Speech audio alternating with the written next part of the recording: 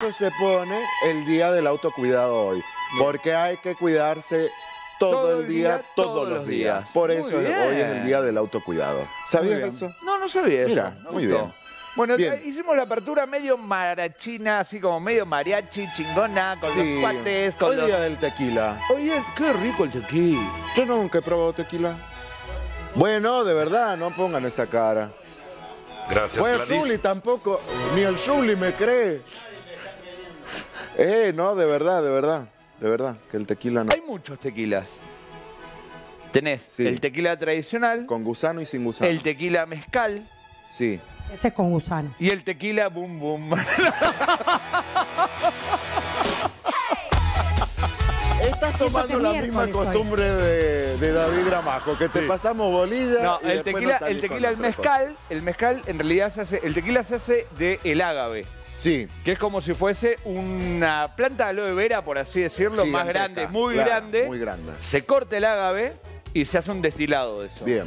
El Y corazón se ocupa. Exactamente. Se, se limpia y se destila. Bien, eso que se lleva a fuego, tengo entendido. Sí, sí, es una Como destilación. un- Se pasa por fuego Claro. y después se concentra el azúcar. Exactamente. Muy bien. Se destila. Y después se la guarda cuando los tequilas son premium y son mezcal, Sí, se les pone el gusano.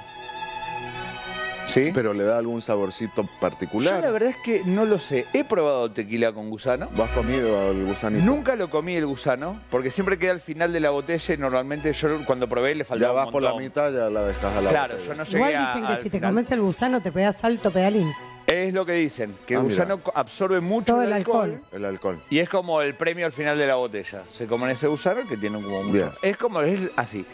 Es eh, al final te terminás comiendo el gusano, es lo que dicen cuando la botella es premium y es mezcal. ¿Y de qué, de qué especie es el gusano? ¿Eh? ¿De qué especie es el gusano? No, no sé.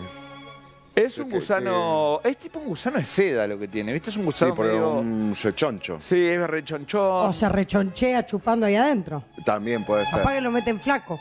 ¿Lo meterán vivo o ya lo meterán...? No, yo creo que se mete vivo Mete y, vivo. y perece. Qué poca información, chicos. Ahí. O sea, lo que la gente quería hacer en su casa era no como se hacía el tequila, sino toda la historia del gusano y usted el gusano no tiene ni idea. Si tenés, si tenés música triste, yo te cuento la historia del gusano. No, ¿De cuál gusano? Del gusanito del tequila. De- Pero tiene que ser criando clima y con música triste. Bueno, vamos con música Échame triste. un violín. A ver, ¿qué pasó con el gusano? Te voy a contar la historia del gusano del tequila. Un gusano que toda su vida tuvo una proyección hermosa y no era Pensaba ser mariposa. terminar en la boca de algún comensal ebrio, siendo deglutido velozmente después de altos niveles de alcohol. Él siempre quiso ser mariposa y no llegó a ser mariposa.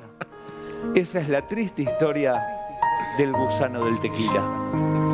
Hoy te recordamos, amigo, después de tantas fiestas, no seas gusano.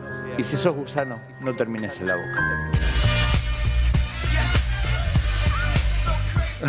El gusano que se usa Sí. es ¿Cuál el es? mismo gusano del ágave. Claro, del ágave. Ah, el gusano. Que cuando lo cosechan a veces viene con gusano. Claro. Ah, entonces de ahí viene. Que Y la ese primera vez de seguro se les escapó uno en la botella. Dice, se considera un manjar exótico que agrega notas de sabor más complejos a la mezcla.